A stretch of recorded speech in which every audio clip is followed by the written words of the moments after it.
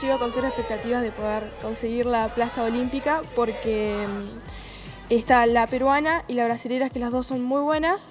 Eh, bueno, eh, me fue más o menos entre el campeonato. Después ya cuando estaba más o menos en el puesto que no podía ni bajar de puesto y podía solo empezar a subir, es como que me relajé y empecé a andar eh, mucho mejor.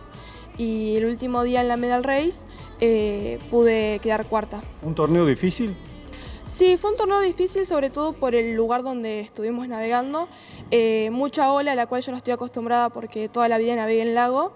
Eh, pero bueno, eh, se pudo ir superando día a día y ya el anteúltimo día y en la medal ya lo pude superar del todo. Y ahora el horizonte es París 2024.